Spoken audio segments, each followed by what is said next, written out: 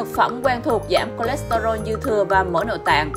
Hành tây Hành tây chứa các axit béo không bão hòa, có khả năng làm giãn mạch máu, thúc đẩy bài tiết natri và có tác dụng tốt trong việc hạ lipid máu, huyết áp, giảm mỡ nội tạng. Ngoài ra, tinh dầu trong hành tây còn làm tăng hàm lượng cholesterol tốt.